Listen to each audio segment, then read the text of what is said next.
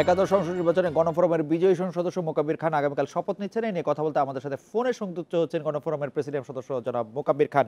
জনাব মোকাবির খান, আমরা শুনেছিলাম যে গণফোরামের শীর্ষ নেতৃবৃন্দের সাথে কথা বলেই শপথ নিতে যাচ্ছেন গণফোরামের দুই সদস্য মোকাবির খান এবং সুলতান মোহাম্মদ মনসুর। এখন আপনি বলছেন যে, আপনি আগামীকাল শপথ নিতে যাচ্ছেন না। এটির কারণ আমাদের একটু বলবেন কিনা? জনাব মোকাবির খান। জি, আজকে দুপুরে বেলা তিন ঘটিকার সময় আমাদের প্রেসিডিয়ামের সভা ছিল। সেখানে ডক্টর কামাল হোসেন স্যার, সাধারণ সম্পাদক, অন্যান্য প্রেসিডিয়াম মেম্বাররা আমরা সবাই ছিলাম। তখন আমরা দেশের সার্বিক পরিস্থিতি বিবেচনায় নিয়ে আমরা সিদ্ধান্ত নিলাম যে আমাদের এই তারিখটা, আমার এই তারিখটা পিছানো দরকার।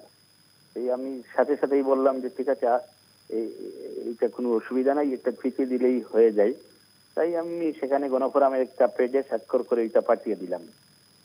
এইটা আমাদের আমাদের দলের সিদ্ধান্ত ছিল আমার সিদ্ধান্ত ছিল।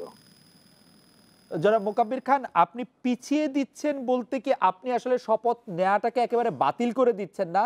বা গণফোরাম থেকে এরকম কোনো সিদ্ধান্ত নেওয়া হয়নি। আপনি শুধু আগামীকাল শপথ যে নিচ্ছেন না সেই ব্যাপারে সিদ্ধান্ত নিয়েছেন। ব্যাপারটা কি এরকম? মানে নেওয়ার ব্যাপারে তো আমাদের দলের মধ্যে আপনার ইতিবাচক একটা মানে মতামত আছেই। কিন্তু আগামীকালকে আপনার আমরা সবাই মিলে ঠিক করেছি যে মানে আগামীকালকে আমি শপথ নিচ্ছি না।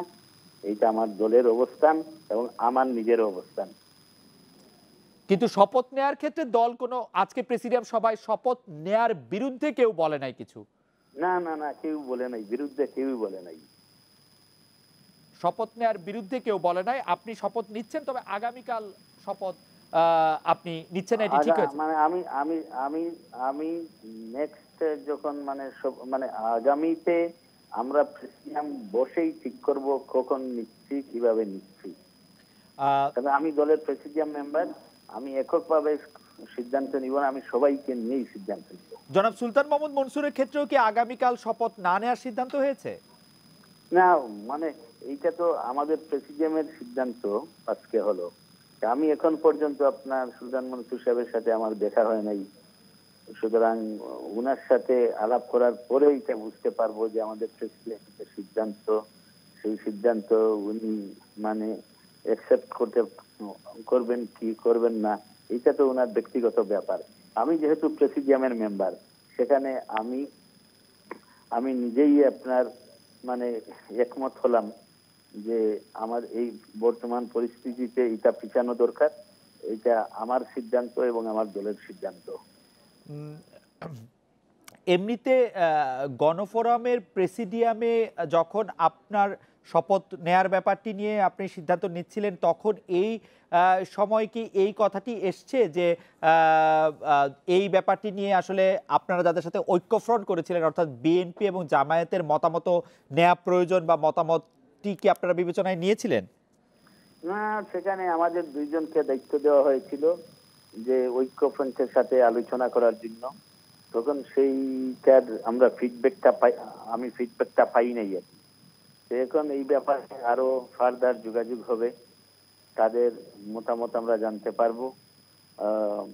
সুতরাং মানে ওনাদের মতামত জানার পরে আমাদের আগামী বৈঠকে সিদ্ধান্ত নেওয়াটা আপনার সহজ হবে।